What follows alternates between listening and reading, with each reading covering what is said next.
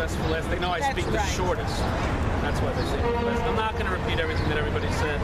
I'm just going to make two points. Number one, uh, Christine Quinn is, is the type of person who will and has represented the whole New York City.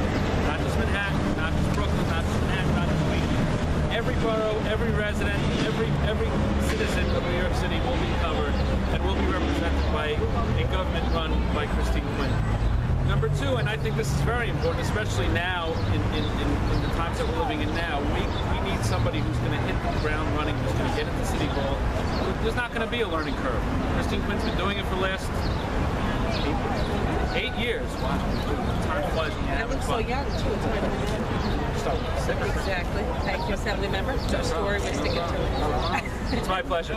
But but uh, it's really there's the city will be in very good hands with Christine Quinn, and it's my pleasure to throw my support behind her as well.